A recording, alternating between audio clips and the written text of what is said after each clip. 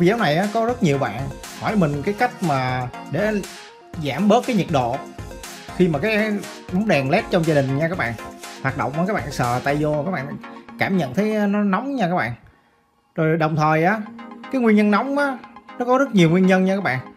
Nhưng mà đa phần á mấy cái đèn càng, càng nóng á thì uh, cái khả năng mà tuổi thọ của chip led nó càng giảm nha các bạn. Nó rất hay, hay bị chết ha. Ở đây là công thức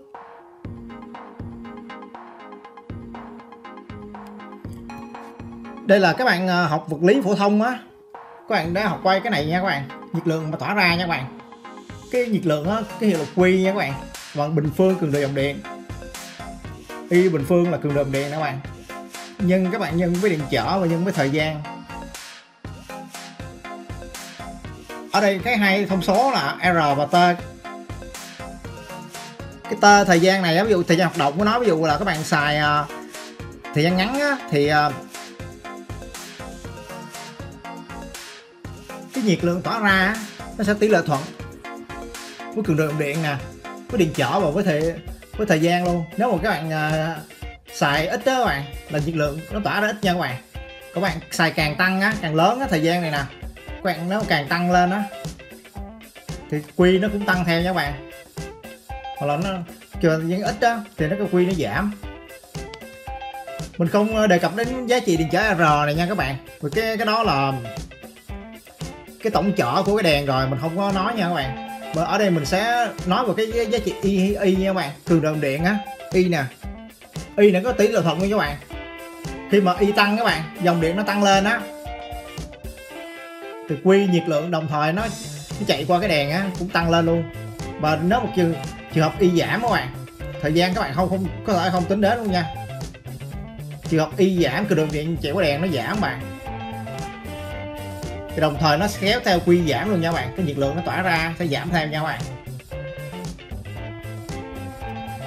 Ở đây á, nhiệt lượng tỏa ra nó sẽ dễ làm hư chip led. Tại vì cái chip led bên trong á, là cái linh kiện điện tử nha các bạn. Cũng là cái thiết bị linh kiện điện tử. Nên nó chịu tác động của nhiệt độ nha các bạn. Nó nhiệt độ càng lớn á thì khả năng cái tuổi thọ nó càng giảm. Cái chip led này nè bên trong nha các bạn.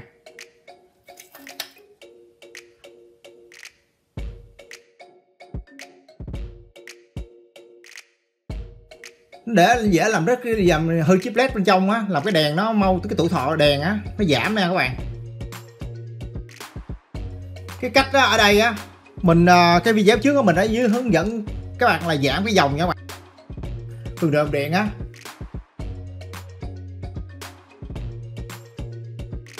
Nhiệt lượng nó bạn giảm xuống. Thì cái y này các bạn các bạn, y, cái cái giá trị y cường độ điện các bạn giảm xuống các bạn muốn giảm giá trị y á, thì mình đã chỉ cho các bạn cách áp dụng tuyệt chiêu nha.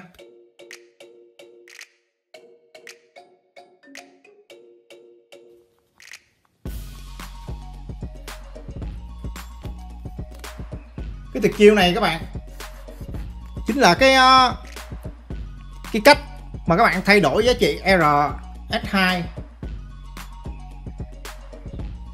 trên bon led driver nha các bạn. Các bạn tháo RS2 cho mình nha ở trên đây là các bạn nó đánh dấu là R 4 R 5 là cái hai cái con điện trở này các bạn. Cái chị sẽ nhỏ này nó bắt vào vào cái chân ờ, số 8 của IC nha các bạn. Hai này mắc song song nha. Các bạn có thể tháo ra thay đổi giá trị á. Là dòng máu ra cấp nguồn cho đèn led nha các bạn. Hai chân. Cộng trừ nha các bạn. Nó sẽ giảm.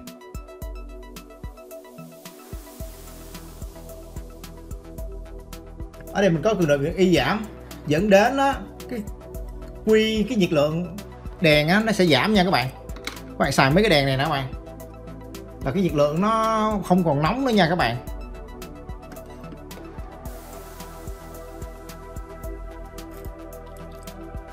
Ở đây mình nói ví dụ đi cái cái dòng điện cái nguồn led driver nè các bạn. Cường độ dòng điện của nguồn led driver lúc đầu á mình mình chưa độ chế.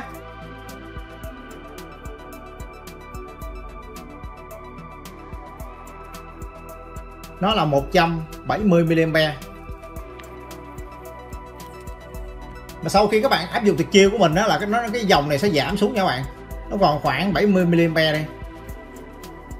Có thể giảm 1 phần 2 đúng không? Nó giảm hơn một nửa nha bạn lớn hơn 1 phần 2 nha bạn. Lớn hơn 1 phần 2 thì cái quy này á, nó sẽ giảm tương ứng nha bạn. Cái quy này nó giảm sẽ giảm đi uh, nhỏ hơn 1 phần 2 luôn nha bạn. Nó giảm lúc đầu á, nó giảm nhỏ hơn 1 phần 2 luôn.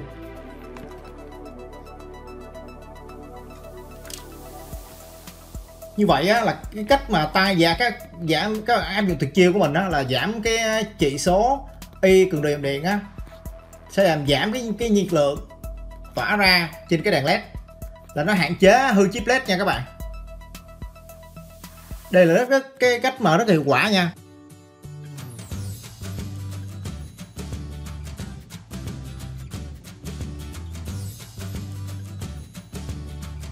Đây là cách thứ nhất nha các bạn bằng cách mình giảm cường độ dòng điện đi qua bóng đèn led.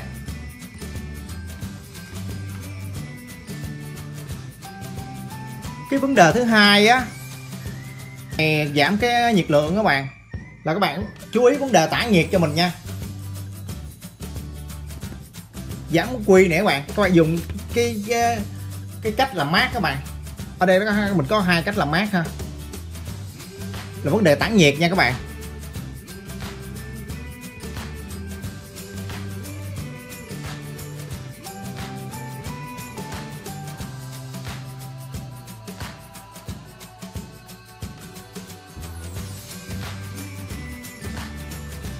Đây là các cách tản nhiệt cho đèn led.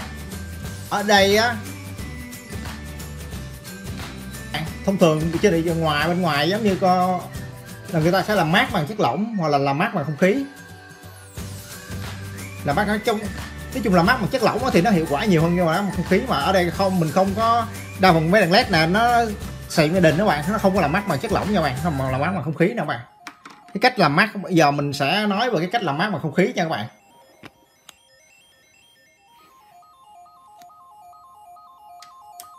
Tại vì cái đèn mấy cái đèn mình uh, xài á, đèn rẻ tiền các bạn. Nên các bạn áp dụng cái cách làm mát mà không khí cho mình nha. Để mà giảm cái quy nhiệt lượng tỏa xuống nha các bạn. Là, là làm cái cái chip led đó các bạn. Nó, nó giảm nhiệt độ luôn nha. Là nó được bền thôi nha các bạn. Rồi trong gia đình của các bạn á đa phần là các bạn hay sử dụng nhất là cái đèn tiếp led 8 với cái đèn led búp rồi sau đây mình sẽ nói về cái cái cách mà các bạn uh, làm uh, tản nhiệt cho mấy cái đèn đó nha các bạn.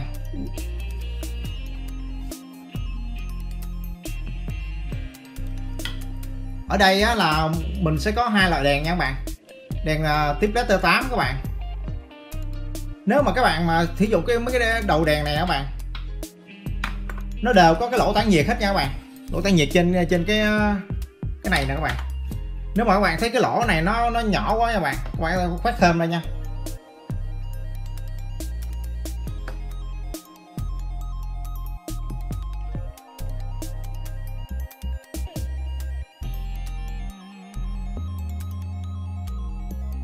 Đầu này đầu nhựa nha các bạn. Còn có một đầu kim loại nữa. Các bạn, nếu mà các bạn ờ, ở nhà, nếu mà các bạn xài á, các bạn có thể dùng cái mỏ hàng nha các bạn. Chích vô nha.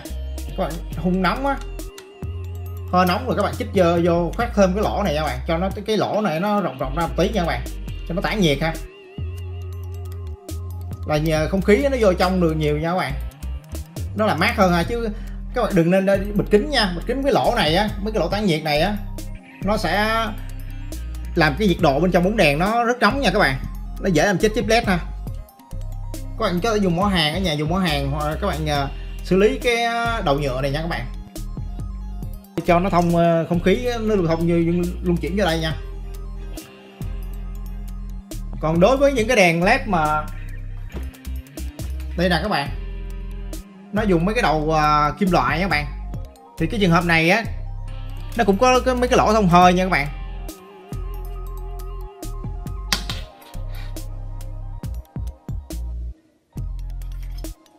Là cái đầu này bằng nhôm nha các bạn cái đầu uh, tiếp tới tám bằng nhôm các bạn thấy cái lỗ không? Cái lỗ này á, các bạn thấy nhỏ quá thì các bạn khoét sâu lên tí nha. Các bạn dùng cái à, cái khoan các bạn. Nè mấy cái lỗ này nè. Mình à, khuyên các bạn á, nên ví dụ cái đèn led mới mà nó trường hợp nó, nó bên chỗ bán mà nó có bảo hành này hay nó thay đổi cho các bạn á. Mới mua lúc mới mua về mà nó hư á thì các bạn à, đừng khoét nha. Khi mà xài một thời gian mà nó nó hết cái giống như cái hết cái thời gian bảo hành hay hết thời gian của nó đổi đổi trả thì các bạn có nên khoét nha khoét lỗ này vô mà còn trong thời gian đó thì các bạn nên hạn chế nha đừng làm à, đừng can thiệp vô nha. À, mấy cái lỗ này các bạn các bạn thấy nó mà thấy ấy là các bạn dùng cái mũi khoan cho mình. Bấm mũi khoan các bạn khoan khoan con mồi thêm nha các bạn là các bạn khoan mồi thêm mấy cái lỗ này nha. Khoan cho nó rộng ra. Để cho ví dụ khoan mồi xung quanh ờ, bên đây nữa các bạn. Càng nhiều càng tốt cũng được để cho không khí nó vô bên trong nha các bạn. Để hạn chế cái ờ, chết ờ, để cái bóng đèn nè bóng đèn nóng nè các bạn. Nó bị nóng mà dễ chết chip led ha. Đây là cái, cái cách mà mình hay làm nha các bạn. Đối với những cái đèn mà tiếp led 8 á còn sau đây là cái đa phần á là bạn sử dụng đèn búp nè led búp. Led búp đối với những led búp mà có cái mấy cái lỗ thông hơi nè các bạn. Mấy cái lỗ mà tản nhiệt nè không khí nè. Đã có sẵn rồi các bạn không được khỏi làm nha các bạn. Ở đây quá tốt rồi nha. Đó. tất cả mấy cái lỗ này các bạn. Nó, nó có nó vừa tản nhiệt cho nguồn led driver luôn mà vừa tản lên nhiệt cho chip led bên trong nữa các bạn.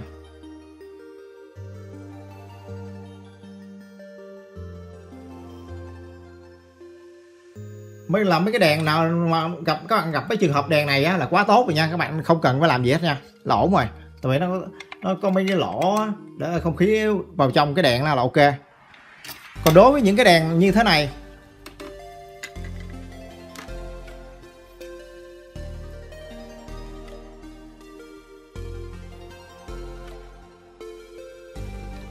các bạn lấy cái cái dao cái gì đó các bạn khoét khoét thâu nha các bạn này sát sát vào đây nè. Các bạn chọt vô các bạn. Đâm vô cho sâu sâu tại vì nó nhiều, nhiều khi cái phần nhựa các bạn nhiều ờ, người ta chế tạo á nó, nó sợ nó bít lên các bạn. Nên các bạn cứ khoét cho nó ấy nha các bạn. Bên trong đây á là cũng có cái nguồn led driver nha các bạn. Cái tùy mình tản nhiệt càng tốt á thì cái nguồn led driver bên trong cũng cũng có được hưởng lây luôn các bạn.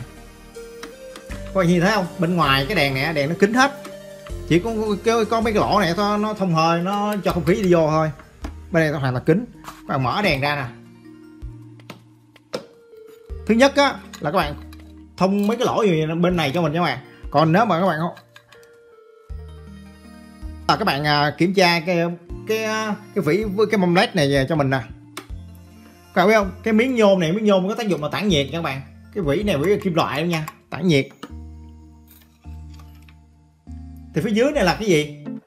Bình thường á, là nếu cái, thứ nhất là các bạn phải ép chặt nha. Hai cái miếng này, cái hai miếng kim loại này phải tiếp xúc với nhau.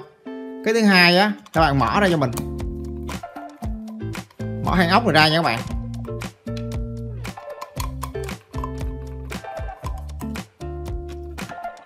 Rồi các bạn lấy cái mâm led lên nha, cái vỉ led á. Rồi các bạn thấy không? Phía sau là gì? Đây là lớp kem tản nhiệt nha các bạn. Cái là kem màu trắng nha các bạn.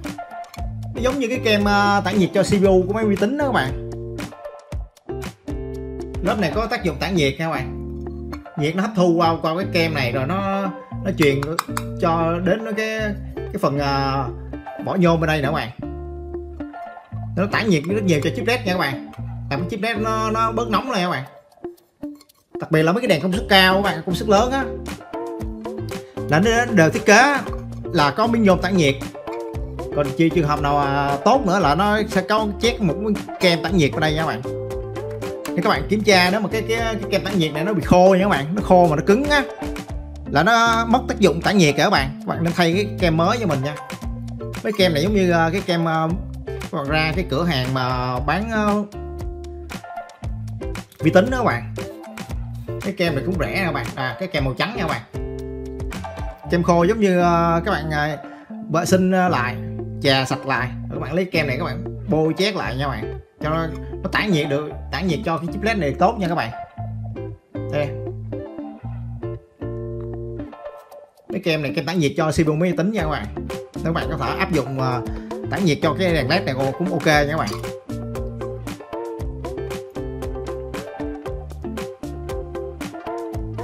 các bạn chỉ cần thoa kem uh, bên một phía thôi nha các bạn. Như cái miếng này nè các bạn thoa phía trước dưới này thôi rồi ép vô á là ok nha các bạn. Các bạn uh, canh á canh cái vị trí lại bắt ốc lại nha các bạn. Rồi các bạn siết ốc vô là ok ha các bạn. Rồi, ví dụ như cái này nha các bạn.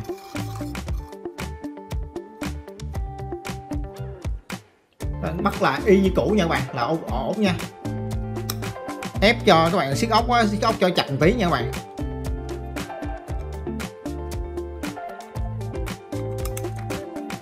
Chung các bạn siết cho càng sát càng tốt nha các bạn. Cho kem á, nó nó ép chặt với hai cái miếng này là ok nha các bạn. Rồi như vậy là xong nha các bạn. Là các bạn có thể tản nhiệt cho cái mấy cái đèn à, led búp. Mà cái công suất lớn như ờ, khoảng cái này công suất khoảng 30W nha. Đèn led 30W nha các bạn. Thì các bạn tản nhiệt cho chip led này nó cái, sẽ làm cho cái tuổi thọ này chip led này nó lâu bền hơn nha các bạn. Đồng thời các bạn khoét thêm mấy cái lỗ này nè cơi nới ra là ok. Để cho không khí nó vô trong á. Tại vì bên trong này có cái nguồn led driver á. Nó sẽ hỗ trợ giúp hỗ trợ cho tăng cái độ bền của nguồn led driver luôn nha các bạn. Là mấy cái đèn led mà được tản nhiệt tốt á rồi tất chắc, chắc chắn là nó sẽ bền hơn với những cái đèn mà bị bít kính mấy cái lỗ tản nhiệt không nhiệt nó không thoát ra được.